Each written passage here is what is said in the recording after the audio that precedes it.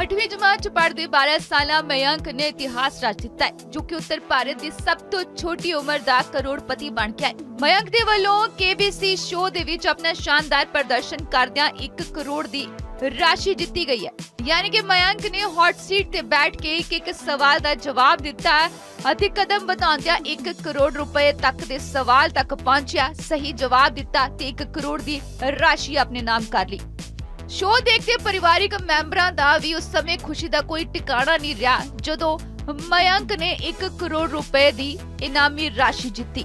ਇੱਥੇ hot seat ਤੇ ਬੈਠੇ ਮਯੰਕ ਨੂੰ ਇਸ ਤਰ੍ਹਾਂ ਕਾਮਯਾਬ ਹੁੰਦਿਆਂ ਦੇਖ ਕੇ ਅਮਿਤਾਭ ਬੱਚਨ ਵੀ ਆਪਣੀ ਸੀਟ ਤੋਂ ਖੜੇ ਹੋ ਗਏ ਤੇ ਉਹ ਵੀ ਹੈਰਾਨ ਰਹਿ ਗਏ।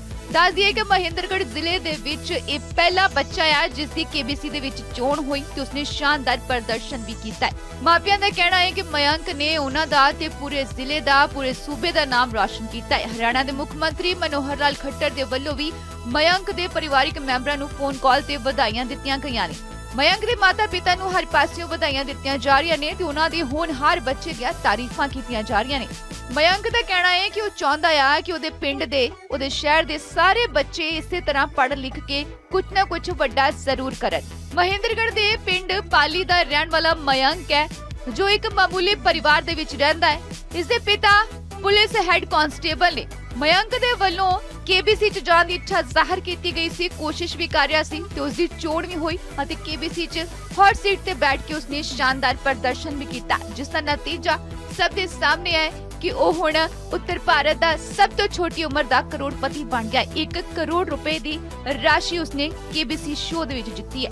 ਮਯੰਕ ਦੇ ਪਿੰਡ ਪਹੁੰਚਣ ਤੇ ਪਰਿਵਾਰਿਕ ਮੈਂਬਰਾਂ ਦੇ ਵੱਲੋਂ ਜਸ਼ਨ ਮਨਾਏ ਗਏ ਨੇ। ਉਹਨਾਂ ਦੀ ਖੁਸ਼ੀ ਦਾ ਕੋਈ ਟਿਕਾਣਾ ਨਹੀਂ ਰਿਹਾ। ਜਦੋਂ ਮਯੰਕ 1 ਕਰੋੜ ਰੁਪਇਆ ਜਿੱਤ ਕੇ ਵਾਪਸ ਪਹੁੰਚਿਆ, ਪਿੰਡ ਦੇ ਵਿੱਚ ਬੈਂਡ ਬਾਜੀਆਂ ਦੇ ਨਾਲ ਗੱਡੀਆਂ ਦੇ ਕਾਫਲੇ ਕੱਢੇ ਗਏ ਅਤੇ ਪੂਰੇ ਪਿੰਡ ਦੇ ਵਿੱਚ ਜਸ਼ਨ ਵਰਗਾ ਮਾਹੌਲ ਬਣ ਗਿਆ। मैंने जो ये किया है मतलब ये जो कार्य हुआ है बाबा की मन्नत मांगने से इससे मैं बहुत खुश हूँ और मुझे लग रहा होगा कि और लोग भी बहुत ज़्यादा खुश होंगे क्योंकि ये पूरे गाँव के लिए गर्व की बात है। और मैं चाहता हूँ कि अ, हमारे जो गाँव के और बच्चे हैं या फिर हमारे जो पूरे देश के और बच्चे हैं वो भी ऐसे ही मेहनत करते रहें और बड़े बड़े प्लेटफॉर्म्स पे जाके अपना नाम दर्ज खुशी का अवसर है कि बच्चे ने इतनी बड़ी अचीवमेंट की है। और मैंने जैसे मयंक से बात करी थी, मैंने प्रदीप से बात करी थी, मयंक के पापा से, दादा साधुराम जी से बात करी थी। पूरे परिवार में बैठ के जब हम चर्चा कर रहे थे तो मुझे लगता है कि मयंक की पहली सीढ़ी है। अभी इसके लिए पूरा आसमान खुला हुआ है, बहुत सारे विकल्प इसके आगे हैं। नो डाउट ये बहुत बड़ा प्लेटफॉर्म है, हर कोई व्यक्ति यहाँ तक नहीं जा सकता।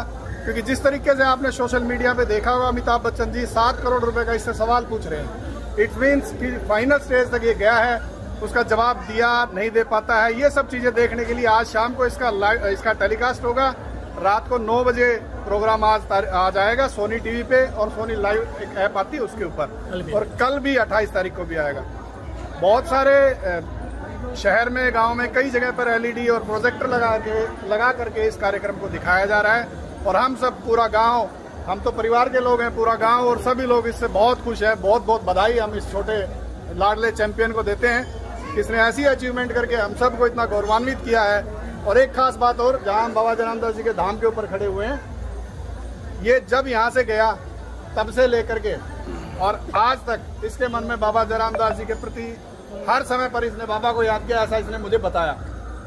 चाहे फ़्लाइट में गया तो सीट के ऊपर सबसे पहले बाबा जयराम दास जी की तस्वीर रखना चाहे हॉट सीट पे जाने से पहले बाबा रामदास दास जी का नाम स्मरण करके जब लोग कापी किताब लेकर के तैयारियाँ कर रहे थे, तब ये अपने रूम में बैठ करके बाबा रामदास दास जी के भजन सुन रहा था।